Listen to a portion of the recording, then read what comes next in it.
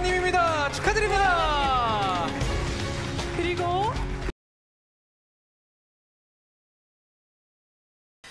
어, 목소리가 막 흔들리고 어느 날은 너무 딱딱하고 어느 날은 너무 약하고 음. 그런 어, 제가 제 목소리를 컨트롤할 수 없는 상황이 생겼었어요. 음. 그게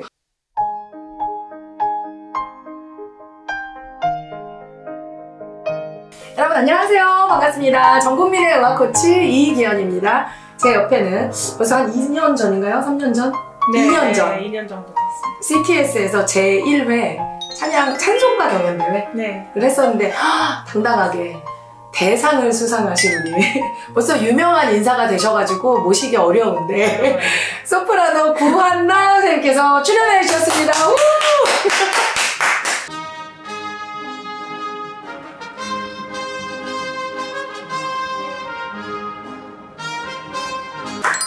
다. 나와주셔서. 제가 영광입니다. 사실 제가 그 독일에서 이제 어, 저도 수업을 받고 학교도 다니고 하지만 어, 항상 성악가들의 동경 이탈리아 어.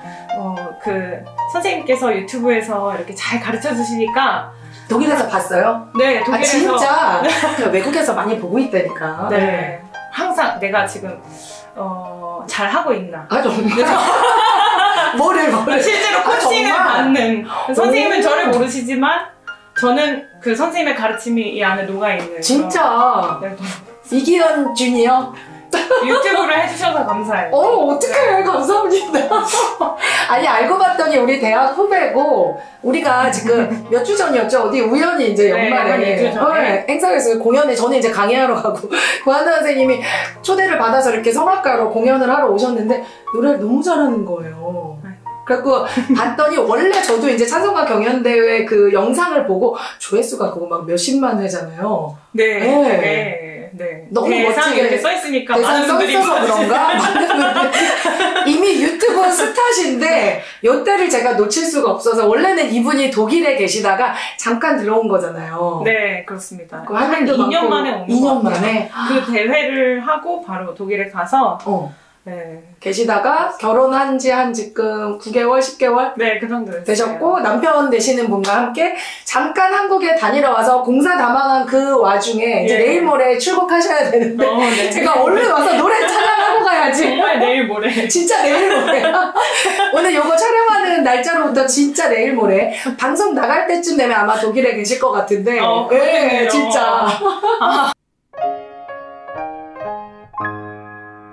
그렇게 해서 대상 받으시고 나름대로 또 유명해지시고 우리 CTS 방송도 출연하시고 음. 틀면 나왔었잖아 자주 그리고 워낙 촬영도 은혜롭게 잘하셔가지고 저도 막 몇 번씩 많이 듣곤 했었는데 네. 그때가 막 코로나 한참 심할 때네요 그죠? 네, 2년 그래서. 네, 들어오자마자 2주 격리하고 네. 격리하는 동안 오, 또 많이 준비도 하고 그렇죠. 그리고 이제 어, 내 노래도 아무래도 무대 또 방송에도 이렇게 카메라 앞에서 노래 부르는 거 쉽지 않거든요. 네. 촬영을 하면서 많이 실력이 늘었다고 생각을 하고 이제 일상으로 돌아왔잖아요. 네. 그 이후엔 또 어떻게 지내셨어요? 2년이라는 거 시간을.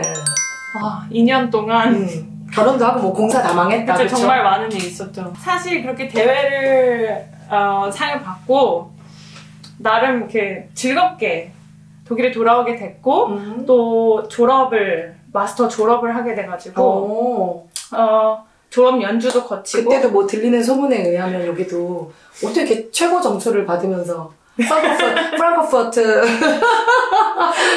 음악원을 그쵸 네, 국립 음악원을 프랑크푸르트. 프랑크푸르트를 네, 국립 음악 음대 최고의 점수로 승승장구한 거잖아 어떻게 보면 그쵸 그날 뭐 네. 잘했을 수도 있고 원래 그렇죠. 실력이 있었죠 제가 그날 졸업 연주를 하는데 어, 몸이 정말 너무 잘 열려가지고 오. 너 전혀 힘이 들지 않게 네. 거뜬히 모든 노래들을 한 30분을 해내더라고요. 아? 그래서 아 또 그분이 도와주셨구나. 어 역시 어.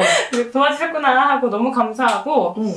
어 저의 실력으로 그거를 해낸 게 아니라고 생각했기 때문에 그 다음 날부터 계속 졸업은 이제 했고 끝났지만 음. 내가 그때 잘 했던 것들을 내 기술로 익히고 싶어서 노력을 했어요. 네. 연습실에서 거의 하루에 한 5시간 정도를 오. 고민하면서 음.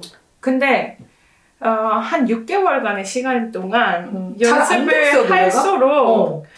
어, 목소리가 막 흔들리고 어느 날은 너무 딱딱하고 어느 날은 너무 약하고 음. 그런 어, 제가 제 목소리를 컨트롤할 수 없는 상황이 생겼었어요. 오. 그게 그런 게- 2021년 21년 어머 처음이었어요. 그 정도로 막 이렇게 맞아요. 소리가 흔들린다든지 저는 어떻게든 그래도 정신력으로라도 어. 노래를 항상 하던 애였는데 하던 사람이니까 기본은 되잖아요. 원래. 네. 근데 그 집중하면 된다고 네. 생각을 했는데 그때 처음으로 제 목소리가 마음대로 컨트롤이 안 되는 거를 느꼈죠. 아. 그리고 너무 어려워서 참 어떻게 해야 되냐. 어떤 날은 이제 오디션을 계속 보는 거잖아요. 졸업하고 음. 나서 뭐 에이전시도 들어가고 그치 싶고 이제 커리어를 쌓아야 네, 되니까. 오페라도 하고 싶고 그렇죠. 공연도 하고 싶고 음. 그러니까 오디션을 보는데 번번이 어떤 음. 날은 모든 그 피드백이 너무 흔들린다. 아 실제 막 흔들렸어 노래가 원래 그런 적이 없는데. 저도 사실 아는데 뭐, 어, 뭐 무대에서는 뭐 피할 데가 없잖아요. 그냥 그렇죠, 부르는 그렇죠. 거죠. 근데 어쨌든 해야 되잖아. 네, 끝까지 그냥 부르는 없으니까. 거죠. 그 흔들리다 보면은 뭐 반주자랑 템포 당연히 안 맞고 내가 그렇지. 이거 잡으려고 하다 보니까 막 어. 이렇게 근데 내 의지대로 안 돼요. 이게 흔들리는 게 희한하다. 목소리가 그냥 제 갈 길을 가요. 아니 얼마나 그러니까 좀 공포스러울 것 같아. 그냥 놀래는 네. 수준이 아니라 나 노래하는 사람이잖아요. 근데 안돼 목소리가 컨트롤이. 지금도 그때를 생각하면은 정말로 여기가 이렇게 꽉 막혀 있는 느낌이. 음. 저는 평생 노래를 하면서 살았기 때문에 막 안 좋은 피드백만 계속 들으니까 막 음. 여기가 이렇게 딱하게 먹먹하게 돼 있어서 아 이제 음. 노래를 그만 해야 되나 보다. 음. 딱 어, 6개월 더 해보고 근데 어느 날 알게 된게 음. 어느 날 어떤 워크샵이 학교에서 있었는데 네. 그 특강을 해주시는 독일 선생님께서 선생님께서 이런 말씀을 하시는 거예요. 네. 보통은 노래를 하기 전에 무대에서 이렇게 책을 펴놓고 악보를 펴놓고 잔잔하게 악보를 눈으로 읽어가면서 소리 내지 않고 그렇지 마음을 좀 이렇게 네. 가다듬고 음. 심호흡을 하고 이 단정해진 이 정갈해진 모습 그대로 무대에 나가서 딱 나의 기량을 발휘하고 온다. 어. 그게 우리가 모두가 알고 있는 거예요. 다 그렇게, 그리고 실제로 어. 그렇게 하기도 하고. 맞아요. 근데 저는 그게 아니었던 거예요. 그 선생님께서 그렇게 했을 때 안 되는 사람은 반대로 에너지를 풀어줘야 된다 라고 얘기를 하시는 거예요. 오. 몸속에 에너지가 너무 많아서 아. 타고난 게 타고난 게 보통의 대부분의 사람들은 이렇게 하고 가면은 더 정갈해진 상태로 무대에 오를 수 있지만 안정시키고 그렇죠. 저 같은 경우는 소리가 막 흔들리고 너무 딱딱하고 컨트롤이 안 됐던 이유가 몸속에 에너지가 꽉 차서 그 터지기 직전의 풍선처럼 음. 빡빡하게 있었기 때문에 그 에너지를 후 이렇게 풀지 못하고 삐익 하는 에너지로 내보내게 됐었던 거라는 걸 알려주셨어요. 그래서 그런 사람들은 아. 뭐 뛰어다니던지 계단을 오. 한 3층, 5층 아. 전속력으로 올라갔다 내려오던지 이런 식으로 몸 안에 꽉 차 있는 에너지를 풀어줘야 된다, 빼줘야 된다라는 음. 얘기를 하시더라고요. 음. 근데 그 순간 제가 무슨 생각을 했냐면 제가 이런 흔들림을 겪기 이전에 네, 네. 아주 어렸을 때 뭐 스무 살, 스물한 살일 때 너무 즐겁게 그 공연을 해나갔던 네, 시간들을 네. 돌아보면 어. 항상 무대 뒤에서 선생님이 구한나 너무 시끄럽다 하실 정도로 조용히 좀 해라. 수다 막 깔깔깔깔거리고 무대 전에서 무대 전에 이렇게 하면 안 되는 행동들을 아. 사람들 정신없게 막 이렇게 웃으면서 단합시키고 있어요. 그런 사람 저도 좀 그런 편이어서. 아 그러세요? 맞아. 몸의 그 영역 울림통을 열어주는 거랑은 다른 거예요. 다른 거예요, 그거를. 네. 아, 그렇구나. 꽉차 있는 에너지, 이 터질 것 같은 에너지를 음악하는 것에 맞는 그 게이지로 맞춰주는 거죠.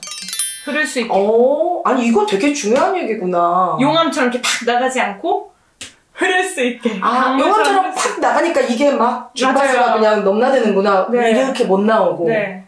오. 그, 그러면서, 아, 나는 그런 사람인가 보다. 음. 그 이야기를 들은 이후로 바로 해결이 됐어요. 아, 그거 오는구나. 어머나. 그러고 해결이 됐고, 그게 2022년 네네. 1월. 음, 음. 그때부터 제가 계속 하던 하루에 5시간 연습을 하면서 연습실에 그분과 나 단둘이 그렇게 시간을 보냈는데 음. 그때부터 제가 한 프레이즈를 노래를 부르면 한 프레이즈의 피드백이 오고 이 부분을 어떻게 해결할까? 음. 그러면 제가 지금까지 거쳐온 모든 선생님들의 말들 속에서 음. 이 해답이 저에게 오- 오더라고요. 아 맞다 그때 고 선생님이 네. 뭐 얘기했던 네. 게 그때 떠오르고 마침 바로 아 이거였구나 그렇게 한 6개월의 시간을 보내면서 어, 이 사람의 몸이 어떻게 만들어진 건가 음. 그거를 이해를 할 수 있게 됐어요. 이 메커니즘을 감사해요. 네. 어머나 어머나 그래서 저는 참 어, 사실 이런 힘듦을 겪기 전에는 저는 그냥 입 벌리면 노래 그냥 하는 거였거든요. 조금 타고난 스타일이었죠 네 다른 분들에 비해서는 악기가 너무 좋고 네. 그리고 너무 승승장구했잖아 대학에서도 장학생으로 우수하게 졸업했죠 최연소로 또 우리 수원시립 합창단은 여러분 진짜 들어가기도 힘든 최연소 그러니까 학교 졸업하자마자 들어간 거예요 네, 어. 학교 졸업하자마자 네 합창단 생활을 몇 년 정도 한 거예요 그러면? 한 5, 6년 했던 것꽤 같아요. 했구나. 네. 그리고 이제 공부를 조금 더 하기 위해서 같이 또 예술 종합학교 여기 욕심도 많아. 전문사 과정에서 오페라 공부를 하다가 이제 독일로 유학까지 갔잖아요. 그럼 어떻게 보면 되게 잘, 어, 너무 좋은 성악가의 그 경력을 갖고 있잖아요. 승승장구한 거지. 힘든 길을 이렇게까지 갔는데 음. 소리가 흔들리고 노래가 안 되고 이건 어떻게 보면 선생님 그게 되게 큰 위기였지만 정말 이제 진짜 알고 내 발성이나 맞아요, 노래를 맞아요. 정립할 수 있는 기회가 됐을 수도 있겠다. 쉽게 얻으면 쉽게 잃어버려요. 아, 그 무서, 그렇기 때문에 무섭다 이 얘기가. 아, 또 맞아 근데. 쉽게 얻으면 쉽게 잃어버리고 그냥 되는 건 그냥 뺏길 수 있는 거예요. 근데 완전히 차분하게 진짜 그냥 1, 2, 3부터 하나하나 네. 프레이즈 하나, 음정 하나를 그거를 네. 다시 연구하면서 저의 모든 그동안 내 평생 불러왔던 어, 음악의 습관들을 음, 하나하나 막 고쳐 나가는 그래 그런 것들을 형, 이유 없이 하는 행동들 있잖아요. 노래 부를 때 뭐 예를 들어서 뭐 음. You raise me up 어. 하면 You raise me up 이렇게 안 하고 You 어. raise me up 이렇게 하잖아. 어. 올리는 게 계산된 것이 아니고 그냥 습관이라서 하는 어. 경우가 있어요. 있죠, 있죠, 있죠. 그런 것들을 다 하나하나 고쳐내야 된다는 게 하나하나 발견할 때마다 절망적이었는데 그래도 그때 당시에 음. 그 남자친구였던 남편이 아는 거에 감사해라. 내가 너무 못났고 내 그게 어, 벌거벗은 것처럼 보여지니까 처음엔 하기가 싫은 거예요. 의욕이 안 생겨. 오. 내가 이렇게 못하고 잘못하고 있는 게 이렇게 많은데 아. 이거 언제 다 고쳐? 이제 막 서른 다 돼가지고 이거 어떻게 고쳐? 다 고칠 건데. 못 쓴다 못 써. 이렇게 뭘 서른 생각을 다 돼가지고.